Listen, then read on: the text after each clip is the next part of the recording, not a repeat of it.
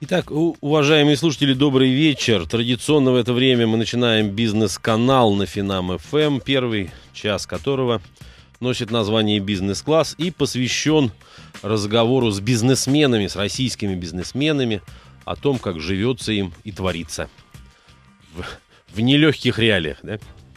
А сегодня у меня в гостях Григорий Липич, генеральный директор АБИ «Россия». И тема сегодняшней программы «Ключ к успеху в бизнесе» соответствие ожиданиям пользователей. Ну, во-первых, добрый вечер, Григорий. Добрый вечер. Спасибо огромное, что вы нашли время нас посетить. А, тема, еще раз я произнесу, ключ к успеху в бизнесе, тире соответствие ожиданиям пользователей. Ну, прежде всего, говорит о том, что любой бизнесмен да, ориентируется на потребителя, на конечного потребителя. И в этом смысле вполне логично говорить, что успешен тот, кто понимает, что хочет потребитель. Видимо, в этом ты как раз и есть ну, да, основная Я идея. бы даже сказал так, э, начиная любой бизнес, э, если э, во главу угла ставить деньги, то, ну, наверное, из этого ничего хорошего не получится. Если во главу угла поставить пользу, которую вы хотите принести своим потребителям, то такие бизнесы обычно достигают успеха, успеха заметного.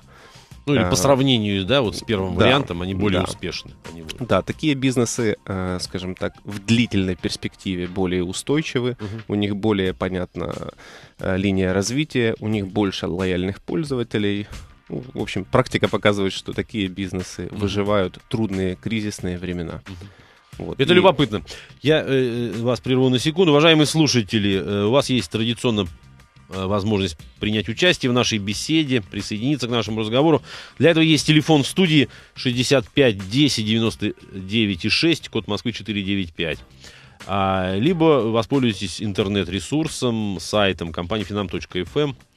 Э, задайте свой вопрос, ну или собственное мнение выскажите. Вот мы начали, собственно, разговор уже с идеей, да, которую Григорий произнес. Ну, мне кажется, она действительно вполне очевидна можно так сказать, социально ориентированная да, сторона любого бизнеса, ориентирована на конечного потребителя и прежде всего э, забота о том, да, чтобы принести пользу. Вот это при, один, при, один из... Угу. Принести пользу обществу. И второе, э, ну, скажем так, в нашем случае, это придумать что-то, что будет удивлять людей, угу. приятно удивлять. То есть, если ты можешь сделать чудо, то, чего люди э, не ожидают, угу и что их э, действительно покорит, то... Э, ну, если чудо в таком метафизическом смысле, то я бы, э, если позволить сформулировать так, если ты можешь сделать чудо, то, чего люди всегда ждут. Может быть, это такая не банальная какая-то история, да, а чудо вот именно в метафизическом смысле. Так, ну, вот нам повезло э, нашей компании работать э, в секторе инновационном, разработке программного обеспечения, и это та сфера, где э, чудеса можно делать. То есть можно создавать что-то, чего люди там 5 или 10 лет назад не ожидали видеть на своих компьютерах, угу. на своих мобильных телефонах угу. теперь, на своих планшетах. А вот, собственно, а, этим мы занимаемся, и вот те базовые вещи, которые мы положили в основу создания компании, Давид Ян, когда-то создавая компанию в 1989 году, у него была простая задача. Он а, готовился к экзамену по французскому языку и подумал, что вот было бы классно, если бы кто-то взял и вот словари французские, uh-huh. французско-русские, перевел в электронный формат и сделал более удобную подготовку. И, собственно, это была идея создания первого продукта компании. У меня, знаете, мысль такая мелькнула, что он в этот момент думал не столько, а, значит, он думал создать электронный словарь не столько для удобства пользователя, сколько, может быть, для удобства отвечания, ответа на Своего вопрос экзаменатора да. именно. Так, так, То есть так такой вариант делается, шпаргалочки, да? Да, да так всегда mm. делается. Сначала что-то создается для себя, да. обкатывается на себе, потом думаешь, о, класс, это mm-hmm. же польза будет для других да, да, людей. Да. И, собственно, это обычно наиболее удачное решение для э, создания тиражируемого mm-hmm. массового продукта. То есть сразу же получает оно, да, сразу получает практическое применение. Понятно, что вот оно Да, здесь. да. Вот. Э, собственно, может быть, пару слов расскажу о том, э, чем компания наша занимается, этим слушателям. Конечно, давайте мы вот э, именно с этого начнем. Да, АБИ, причем за эфиром мы говорили, да, написание достаточно а непростое, пять букв в этих вроде бы вполне. Да, некоторые читают ABBYY, некоторые ABI. Э, вообще правильное имя компании произносится ABI. И это не аббревиатура, угу. это слово на одном из древних языков из сино-тибетской группы, оно означает «ясный глаз». Mm-hmm. Оно означает одну из областей э, нашей компетенции, в которой мы работаем, э, и, э, собственно, это компьютерное зрение. Мы э, известны тем, что делаем программы распознавания текстов. Наверное, многим известна программа FineReader. Uh-huh, и uh-huh. технология распознавания текстов, она используется не только в массовых продуктах, вот в таком продукте, как FineReader, который известен многим пользователям в России, за рубежом. Он поставляется со сканерами по всему миру, там более э, десятков миллионов устройств комплектуются ежегодно. Ну, есть еще как бы и корпоративные продукты, которые помогают, например, там, налоговые декларации обрабатывать, mm-hmm. банкам помогают там анкеты кредитные вводить, э, корпорациям помогают обрабатывать счета, фактуры, накладные. То есть вот система распознавания текстов, когда есть бумажный документ, э, и особенно большой объем этих документов или информации, не хочется это все перебивать руками, то вот, собственно, наши технологии распознавания текста позволяют это переводить в электронный вид без рутинной ручной работы.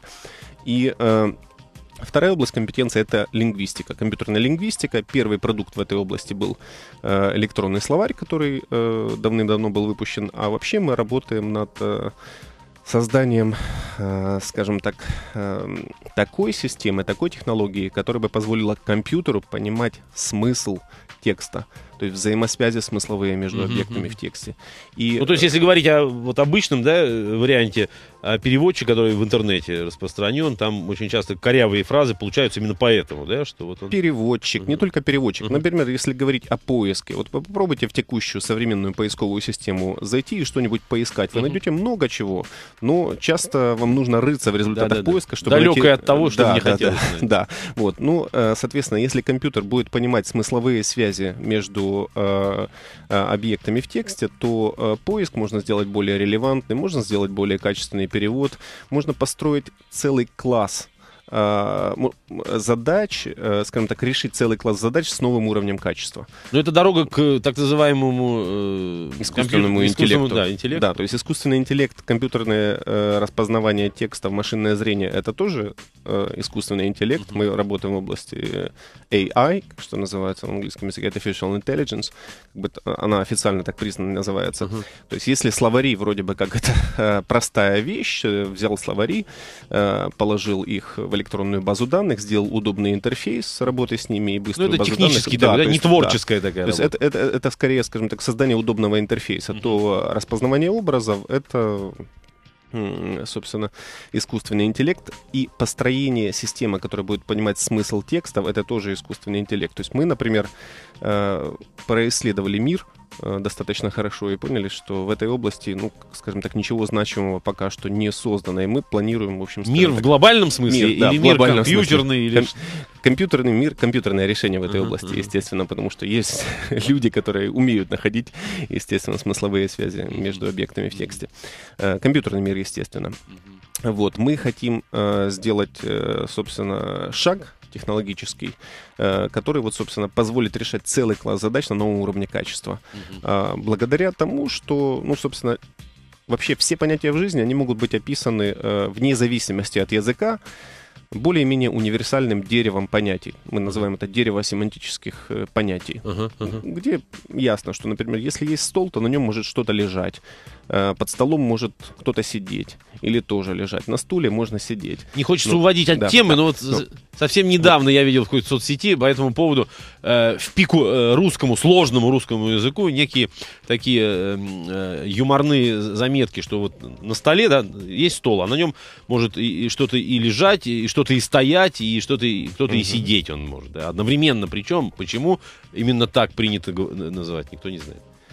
Вот, uh-huh. э, вот, собственно, когда компьютеры научатся понимать э, смысл текста, а не просто анализировать, э, скажем так, состав символов, из которого состоит этот текст, mm-hmm. а перекладывать задачу анализа смысла на, на пользователя, то, я думаю, э, пользователи будут э, получать новое чудо в жизни, будут по-новому общаться с компьютерами, телефонами. Mm-hmm. То есть, например, там те задачи, которые сейчас решаются в мобильных телефонах, вот Apple, например, там представила голосового помощника Siri, которому можно задавать вопросы. Вот такие голосовые помощники, они станут существенно умнее. Э, в будущем. Вот мы работаем над тем, чтобы такие технологии создавались. А, ну, и я прошу прощения, э, Григорий, наверное, не случайно мы и начали, да, вот нашу сегодняшнюю беседу. Так уж получилось со слова чудо, потому что в конечном итоге, по крайней мере сейчас, да, разговор об э, искусственном интеллекте, это пока еще разговор о неком чуде. Хотя вы вот ну, на скажем пути... так, и, и 20 лет назад, и 10 лет назад, и 30 лет назад э, было понятно, что есть куда развиваться. Сейчас мы послушаем новости. Еще раз добрый вечер, уважаемые слушатели. Мы продолжаем бизнес-класс на Финам ФМ. Меня зовут Олег Дмитриев. И тема сегодняшней программы «Ключ к успеху в бизнесе. Соответствие ожиданиям пользователей». В гостях сегодня Григорий Липич, генеральный директор АБИ «Россия». Для вас я напомню, уважаемые слушатели, телефон в студии 65 10 99 6, код Москвы 495 и сайт компании finam.fm. Эм. Звоните, пишите, а, делитесь собственными наблюдениями, тем более, что все же в конечном итоге мы сегодня говорим о неких чудесах. Это да. здорово. Вот, э, собственно, э, кратко завершу тему с чудесами. Uh-huh. Вот, собственно, и 30, и 20, и 10 лет назад у людей были ожидания определенное чудо, но, скажем так, 20 лет назад сложно было поверить, что э, тот мобильный телефон, который лежит сейчас у каждого в сумке, по мощности будет превосходить э, персональные компьютеры, которые существовали. ЭВМ еще и вспомним, да, да вот эти огромные шкафы, да. которые показывают. Вот иногда. именно, да. Вот, собственно, компьютер, на котором я писал свои курсовые работы в университете, они были очень слабенькие. Это были IBM AT, 286, вот, 208 XT, у меня тоже первый был. Вот, 8086. То есть сейчас современные телефоны, они... Сейчас, сейчас калькулятор примерно, да? Да, так, да, да. Гигагерцовые процессоры имеют существенно больше памяти mm-hmm. и так далее. А, и это определяет собственно, ожидания пользователей. Вот если говорить об ожиданиях пользователей, то есть развитие технологий определяет новые ожидания пользователей. Но тут э, как бы любой бизнес должен э, торопиться не спеша, потому что, естественно, можно, скажем так, послушать всех пользователей и попытаться реализовать все. Но если uh-huh. у вас нет бездонной э, ямы, заваленной деньгами, то э, вы быстро разоритесь, если будете так действовать. Uh-huh. То есть нужно э, подходить, скажем так, избирательно к тому, что нужно реализовать в своих продуктах, что в первую очередь, что во вторую, и что быстрее всего принесет пользу наибольшей массе ваших э, потребителей.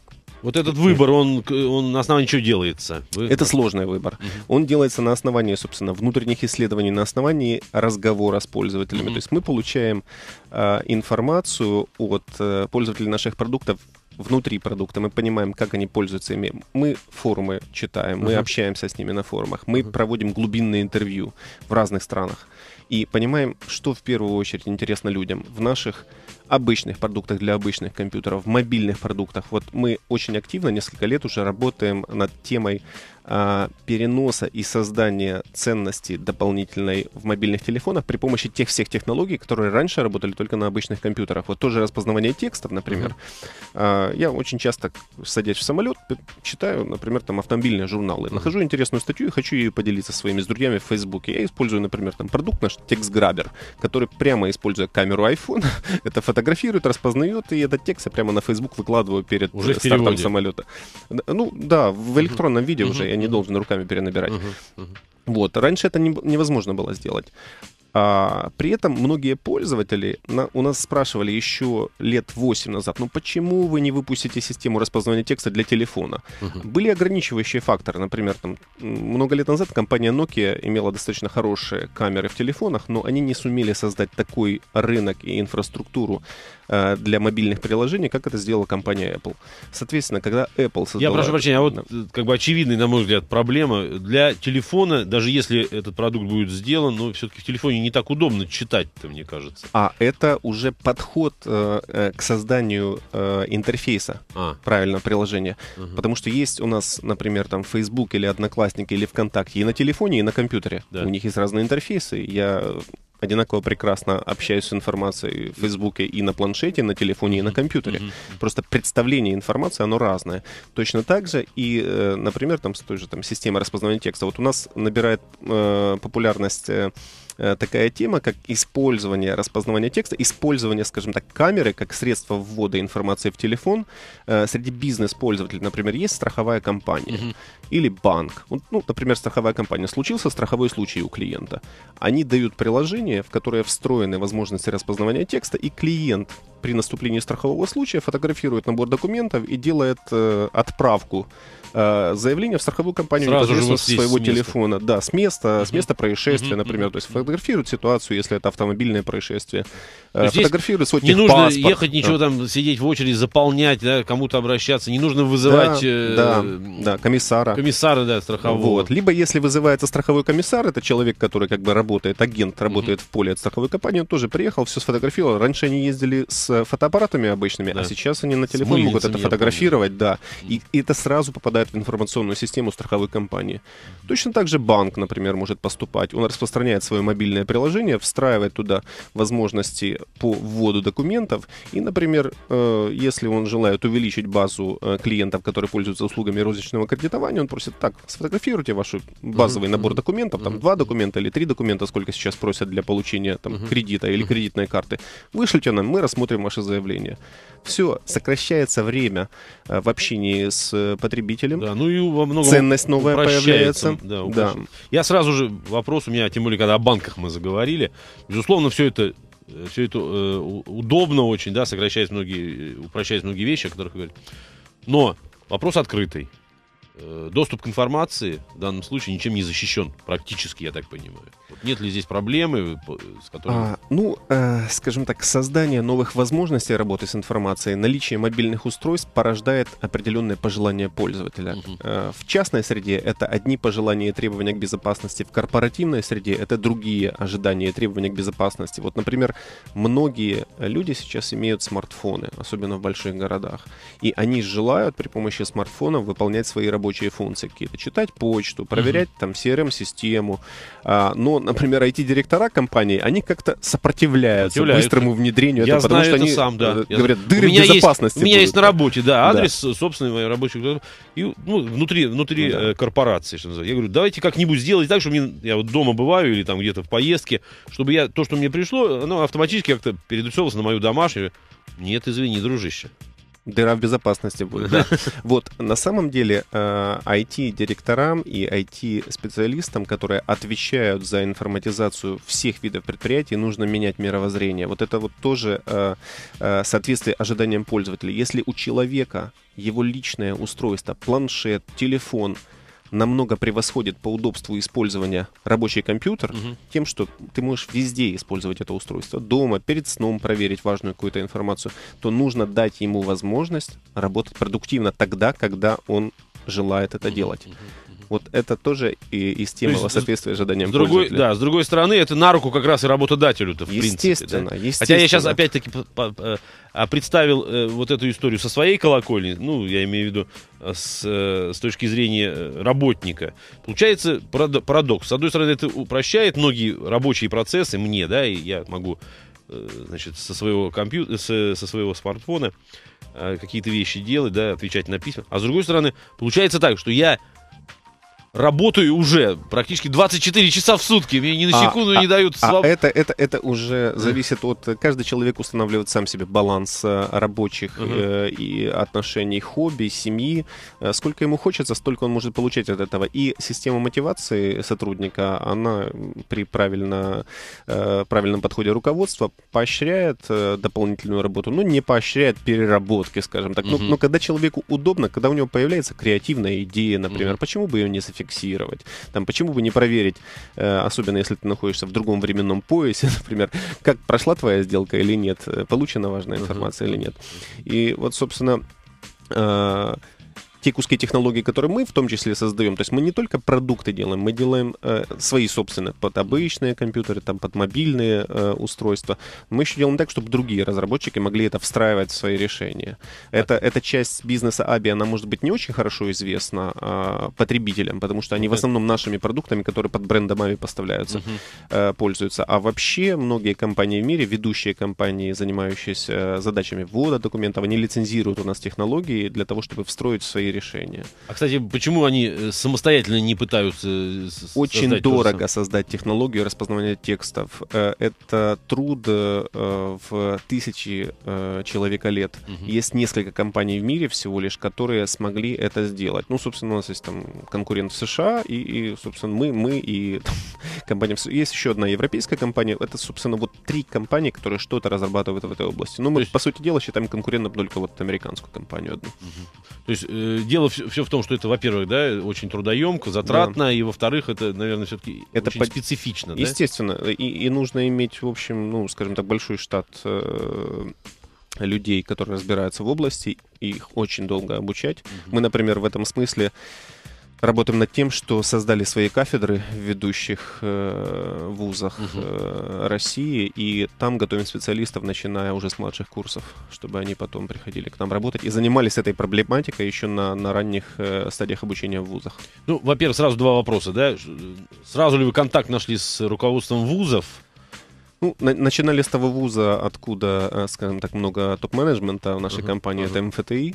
Э, вот. А также мы с РГГУ работаем. То есть вот руководство помнило еще тех да, ребят, которые да. сейчас работают у да, вас? то есть и, и, и компания АБИ это такой референс для этих вузов. То есть mm-hmm. они гордятся тем, что один из лидеров мирового рынка, то есть мы, мы лидеры на, в мире по рынку систем распознавания текстов и по качеству нашей технологии. Мы самые большие полиглоты, то есть mm-hmm. мы поддерживаем больше всех языков распознавания текстов в наших технологиях, поэтому эти вузы гордятся сотрудничеством таким.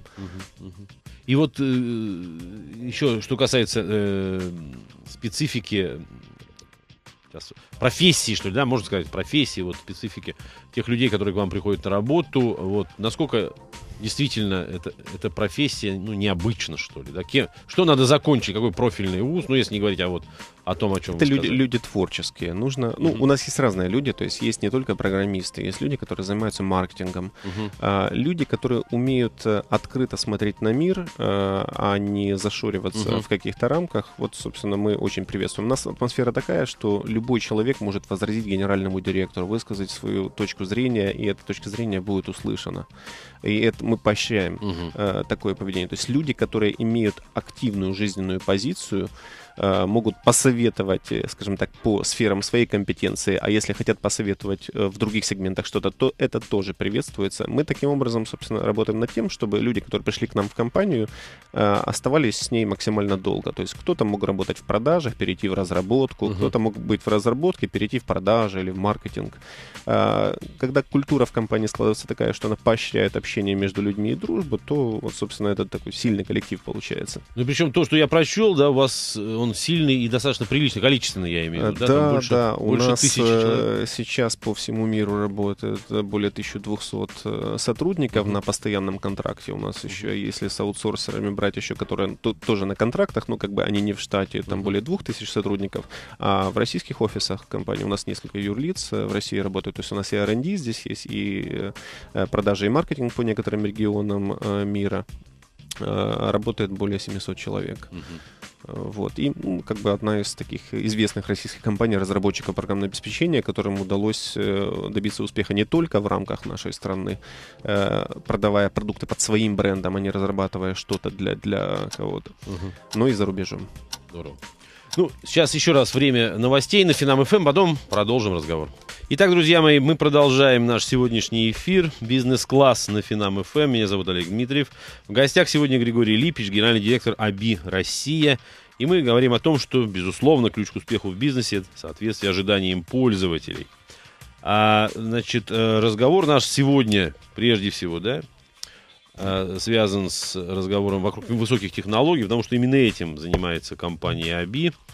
Ну и возвращаясь, да, более детально к этому разговору, а давайте вспомним о том, что вот мы в самом начале, э, так сказать, несколько векторов, да, Григорий рисовал. Это да, это ком- компьютерная лингвистика, э, компьютерное зрение, распознавание текстов и э, объединяющая такая идея, э, возможность понимания смыслового наполнения текста. Uh-huh.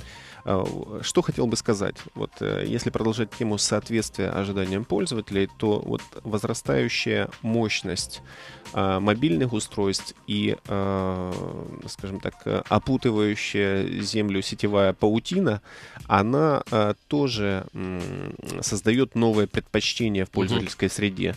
То есть люди хотят пользоваться информационными ресурсами там, где им удобно и в любое удобное для них время. Угу. То есть хотят быть отвязанными от компьютеров. Поэтому э, Э, эти факторы закладывают э, новые тренды, которые мы видим э, активно реализовывающимися сейчас в IT-секторе.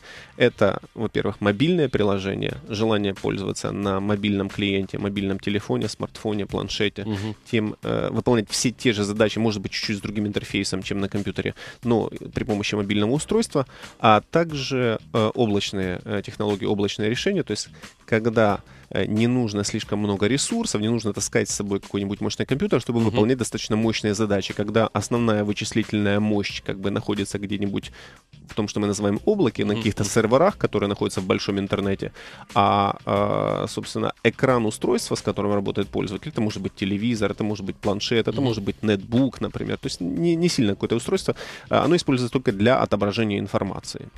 Вот, собственно, мы э, тоже так э, достаточно давно в этой области работаем, потому что, например, наш словарь э, Абилинг, он кроме того, что существует в виде обычных продуктов, устанавливаемых на компьютеры, и вот уже несколько лет как бы там на мобильные телефоны, есть еще его облачная версия. Uh-huh. То есть э, он работает в виде, раньше в виде интернет-сайта обычного работал, а сейчас мы Э, сделали вот таким образом, в особенности это хорошо проявилось на новой платформе от Microsoft, Windows Phone и э, планшеты, когда э, создается такое гибридное решение, как бы на устройстве есть оболочка, но эта оболочка обращается за информацией к серверу. Uh-huh.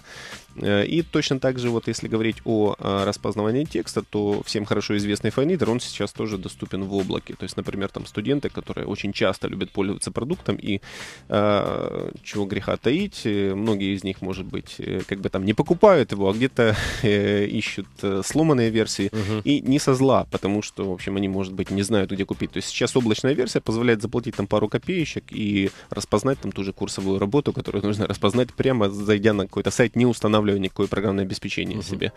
Uh-huh. Вот этот тренд, он очень явно виден, особенно в секторе э, среднего и малого бизнеса, то есть когда бизнесы не хотят э, э, вкладываться в какую-то большую IT-инфраструктуру, в отличие от больших корпораций.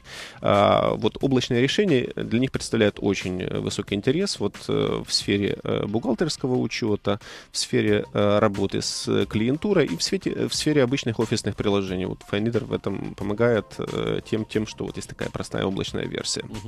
Я хотел бы узнать вот что, Григорий, истории. Как правило, когда мы говорим о каких-то программных обеспечениях, э, программах, о, да, о высоких технологиях, очень часто за, заходит разговор, насколько они легальны.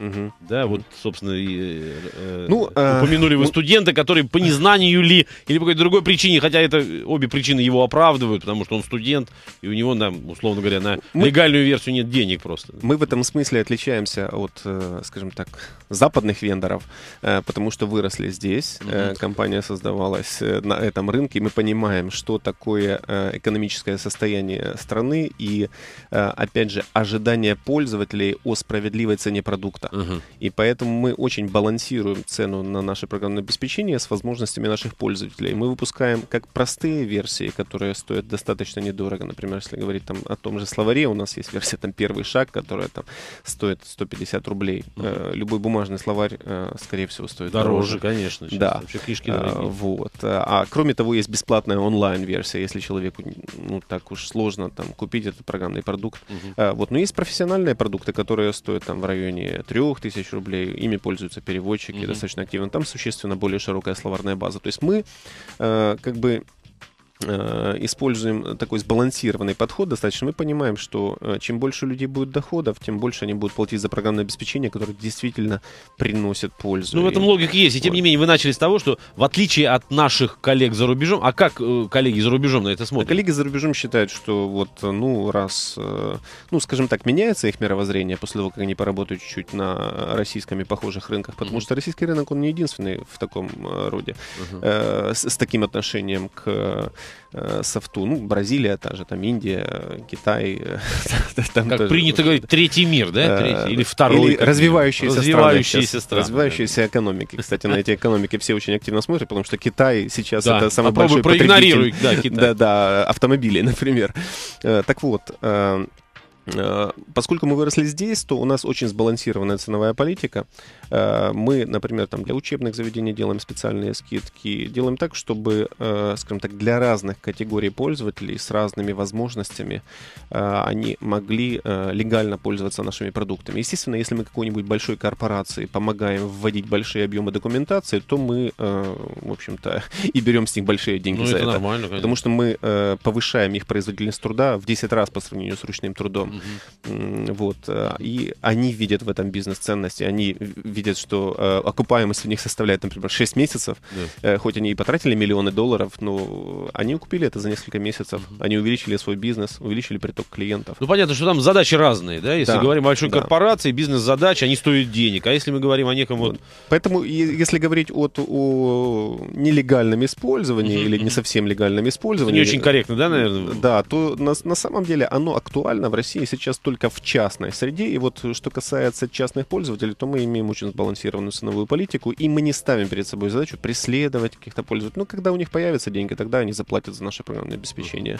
Но мы э, пресекаем э, распростран... работу распространителей. То есть, если мы видим, что кто-нибудь на горбушку вышел там и начал продавать наши диски, то они прекратят эту деятельность. А как, кстати, вы за этим следите у вас? Ну, есть у нас компании, с которыми мы сотрудничаем, которые следят за ситуацией. Mm-hmm. Общем, такие дела. Ну, правда, сейчас э, физическое распространение носителя, оно на ноль практически да, сошло. То есть это интернет в Конечно. основном. Ну, по интернету смотрим там какие-то, в общем, скажем так, совершенно явные раздачи там нашего софта угу. прикрываем, потому что, как э, в фильме «Формула любви» сказано было, все, что одним человеком создано, другим всегда сломано быть может. Да-да-да. Э, поэтому это вопрос времени только. Люди угу. одержимы, они всегда будут ломать софт и всегда будут его использовать. Ну, мы не ставим задачи сделать всех пользователей такими, чтобы они платили что-то за софт. Мы делаем бесплатные версии некоторого нашего софта. Uh-huh. Вот. И есть open source, есть аналоги. То есть, в общем, в принципе, если не нравится там платная версия софта, если стоимость не устраивает, то можно переключиться на open source. Кому uh-huh. что удобнее. Uh-huh. Вот поэтому я э, считаю, что это проблема со стороны особенно западных аналитиков в России и, и ближайших странах, она несколько преувеличена. Серьезно? Если вендор занимается этими вопросами, скажем так, какой-то разумный баланс выбрал для себя, то он э, может вполне адекватные результаты получать и на этом рынке, работая. Ну, вообще приятно слышать такие, э, э, такие вещи из ваших уст. Э, я предположу, что не все, наверное, ваши коллеги придерживаются подобной точки зрения. Вот. Но в любом случае, видите, я, я, я согласен, по крайней мере, в этом тоже есть да, здоровая логика. Да, да. В такой потому... позиции есть здоровая логика. Ну, потому что можно пойти по пути как бы там судебного преследования всех и каждого. Да, но да, да, зачем да. это нужно? то есть это издержки. А так, если ты создаешь полезный продукт, то, собственно, люди, как знаете, как некоторые музыкальные исполнители сейчас делают, они выкладывают свои песни бесплатно, говорят, если вам понравилась наша знаете, песня, да? положите каких-то денежек нам, пожалуйста, это поможет нам развиваться. Ну вот э, у нас тоже такой прагматичный подход, то есть мы не ставим перед собой цель э, срочно найти всех, кто нарушает наши угу. права, и, и сделать так, чтобы не да, и наказать. наказать их. Здорово, здорово.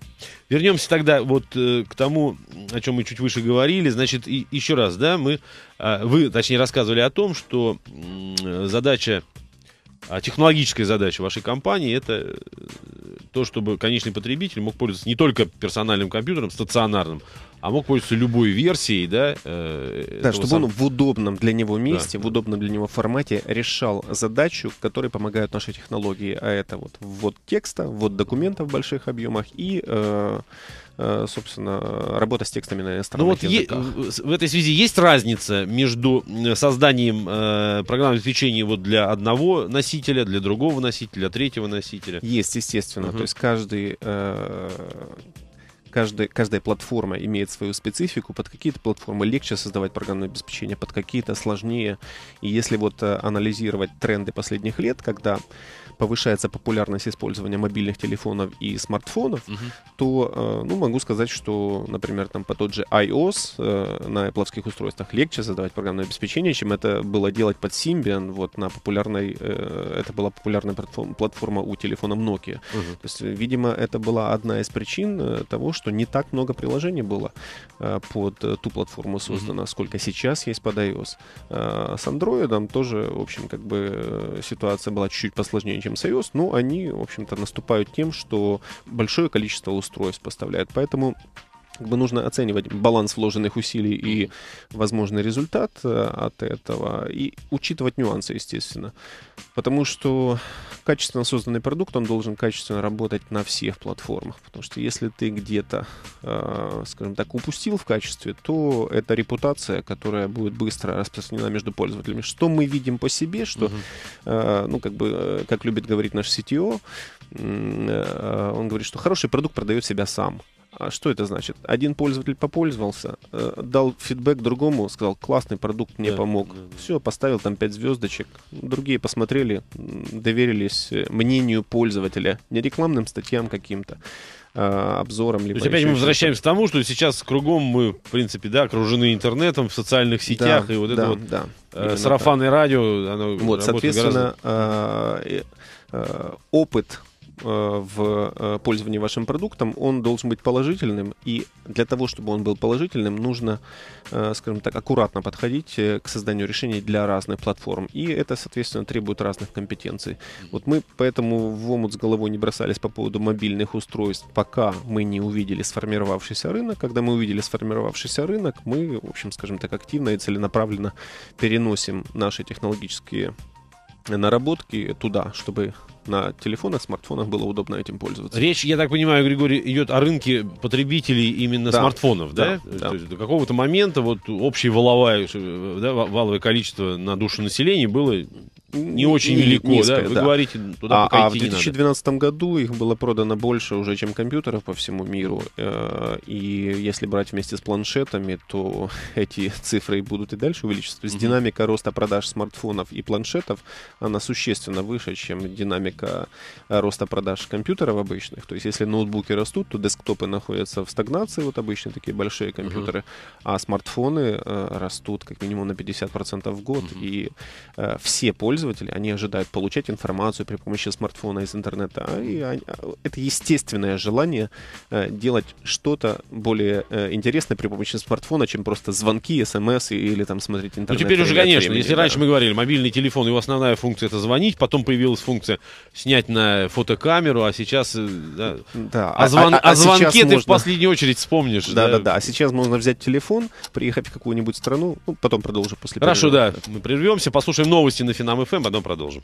Мы продолжаем наш эфир. Уважаемые слушатели, бизнес-класс на Финам ФМ. Еще раз я напомню, сегодня в гостях Григорий Липич, генеральный директор АБИ Россия, и мы обсуждаем бизнес, связанный с высокими технологиями. В общем, все то, что а сегодня рассказывает Григорий о своей компании. Давайте продолжим. Интересно да, про- продолжая тему о, э, скажем так, э, том, чего ждут пользователи от технологий, uh-huh.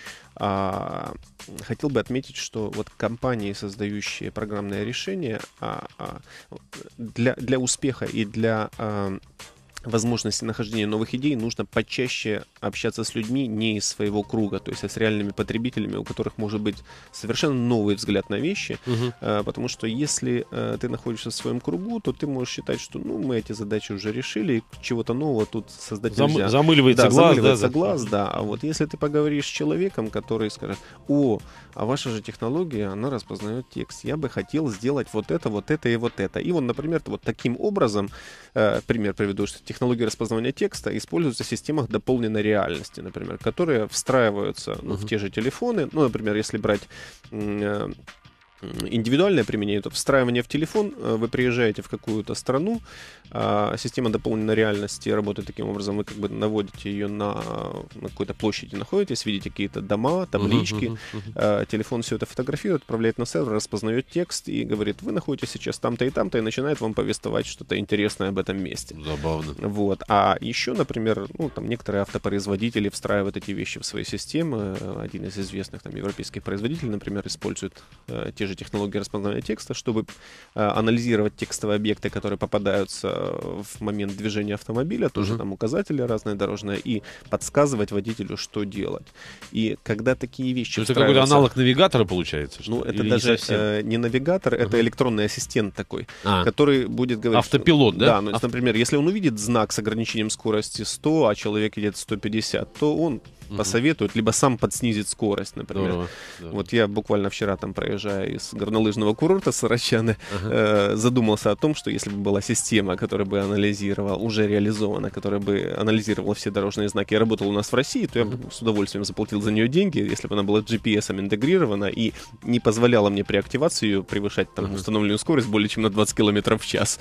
Я буду закон соблюдать таким образом. Ну, это здорово, но, с другой стороны, вам пришлось бы дольше добираться до, до Это до да, да ну, э, если бы я сделал решение о том, что я хочу ее uh-huh. активировать, то я бы чувствовал себя ну, это спокойнее. действительно, это вот опять-таки, если мы, э, так сказать, вспомним, да, начало нашего разговора, это вот э, шаг на, навстречу того, что, ну, в данном случае автопилот может быть, да, да изобретен естественно. через какое-то время. А, по, по тем же задачам автопилота многие компании работают. Ну, тут есть, конечно, некоторые технические ограничения, вроде того, что там те же агентства вроде военных военных, они угу. запрещают, например, более точные координаты использовать в гражданских применениях от GPS-спутников. Угу. Вот, в принципе, в нашей системе GLONASS, которая работает, там тоже есть определенные ограничения. То есть военные существенно более точные координаты получают, чем гражданские. Ну, это нормально, мне кажется. Приложения, да. да. Но просто если, например, э, создавать систему автопилота, то там требования к точности координат, они чуть-чуть повыше должны быть,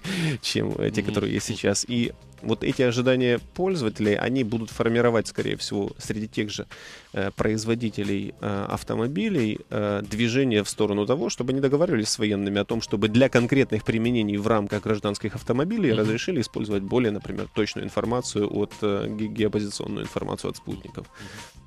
Вот, это, это и э, ну, ничто другое, кроме как э, желание лучше соответствовать ожиданиям потребителей, я думаю, не будет двигать автопроизводителями. Хоть они и медленны в своем развитии, то есть мы тут видим, что в некоторых моделях автомобилей еще с трудом можно там USB-интерфейс найти, хотя уже везде, где угодно его можно найти. Ну, есть такие модели, да, автомобилей, да. мы о них знаем. Вот, но тем не менее, тем не менее, потребители развиваются, ждут чего-то, и они ждут этого от э, производителей всех товаров потребления, которые, э, которые им встречаются. Григорий, а вот вы в частности, ну и в принципе, возможно такой вариант, что вы действительно опережая, так сказать, да, э, чаяние потребителей, может быть, опережая или, как минимум, следуя им же, а вдруг сталкиваясь с такой вещью, что вот вы создали нечто, а оно в конечном итоге не пользуются спросом, или этот спрос быстро угас и... Такое бывает, угу. к сожалению, и, э, и, или к счастью. Знаете, как ученые говорят, что отрицательный результат тоже результат. Безусловно. То есть, если вы пошли по какому-то пути, то главное понять, ну, как бы для, для бизнесмена вовремя понять, когда нужно остановиться, когда делать шаги, последовательные шаги небольшие, скажем так, чтобы во все тяжкие не, не Э, забуриться, не потратить слишком много денег и не Времени и сил, да, конечно. Да. Потому что, мне кажется, тоже вот здесь есть, ну, это на уровне психологии, да, э, гибкий бизнесмен, гибкий, ну, в данном случае более прогрессивный, он, он э, чутко реагирует на все. А есть такие упертые ребята, которые говорят, ну, я все равно пойду вперед, а стенка очередная, давай я лбом ее сейчас буду пробивать.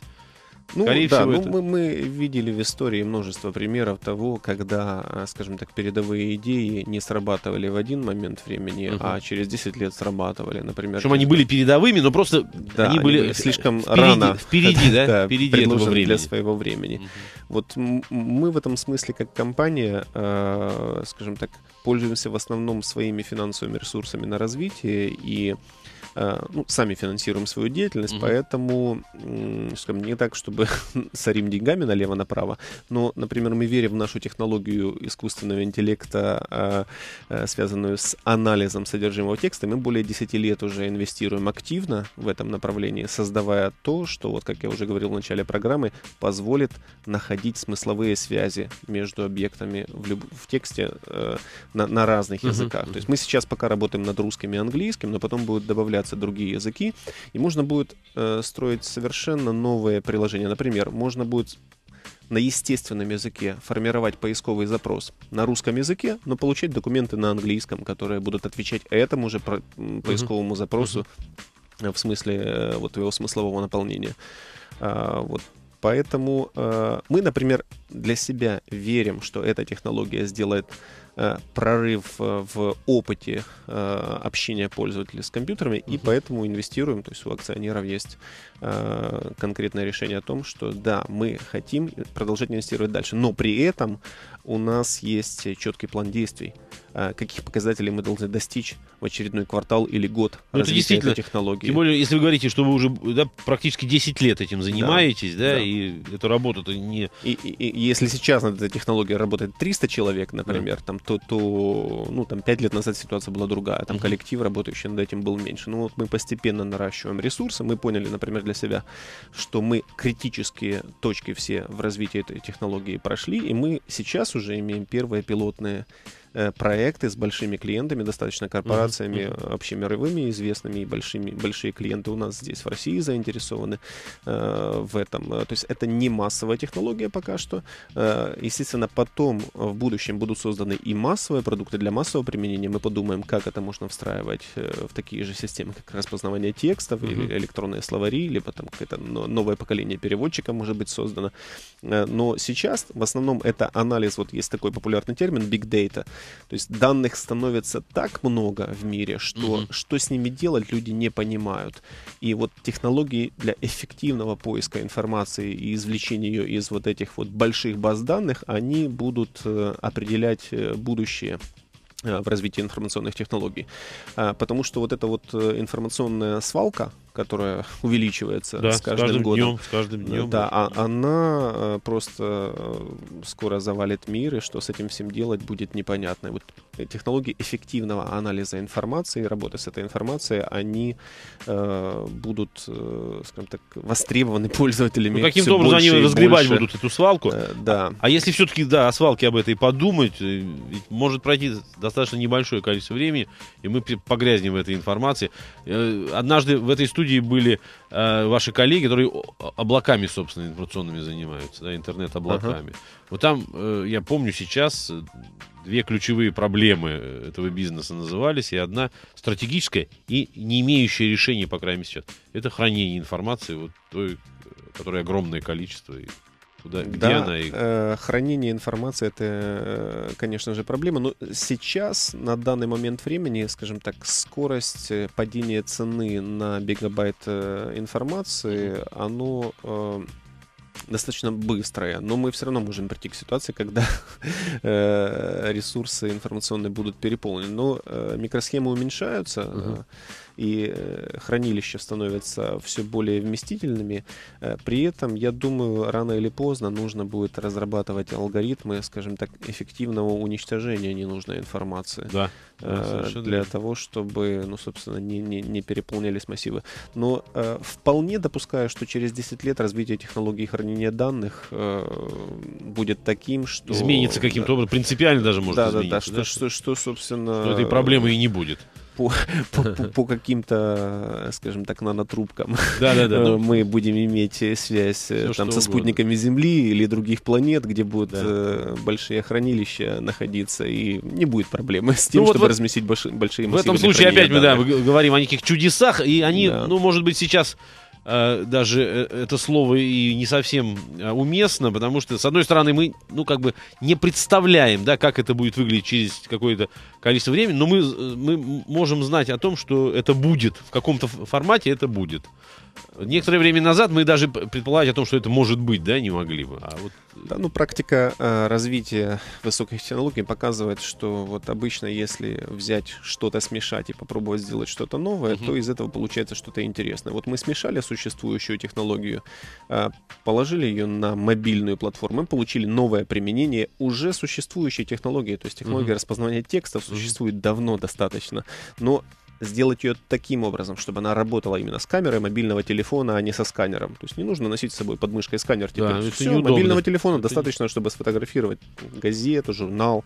Э, это нельзя было представить 10 лет назад. Mm-hmm. Вот, соответственно, трудно себе представить, что будет, да, что будет через 10 10. лет в технологиях хранения данных. Поэтому, с одной стороны, э, я разделяю как бы обеспокоенность коллег, которые занимаются облаками. С другой стороны, в общем, как бы технология не на той технологии, чтобы да. развиваться и э, придумывать э, там что-то новое, что будет эффективно решать те проблемы, которые возникают перед человечеством. Я понял. Спасибо огромное. А, уважаемые слушатели, я э, прежде всего благодарю вас за внимание и хочу напомнить. Сегодня в гостях у меня был Григорий Липич, генеральный директор АБИ «Россия».